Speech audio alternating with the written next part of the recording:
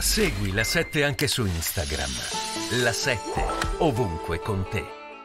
Eh, che arrivano da New York in diretta, state vedendo la 36esima strada dove c'è stata una sparatoria, ricordiamo 13 persone ferite, maggiori dettagli ci arrivano dal sito di CNN, le 13 persone sarebbero state trasportate in ospedale, eh, 5 sarebbero i feriti, altre emittenti parlano di due feriti gravi che sarebbero in gravi condizioni, eh, ovviamente CNN, come tutti i network americani, è alla ricerca identi di identificare non soltanto eh, con le informazioni il potenziale autore dello sparo, ma anche chi siano le persone ferite, perché in quel momento c'era tantissime, c'erano tantissime persone che si stavano spostando, stiamo parlando Erano di Brooklyn. le 8.30.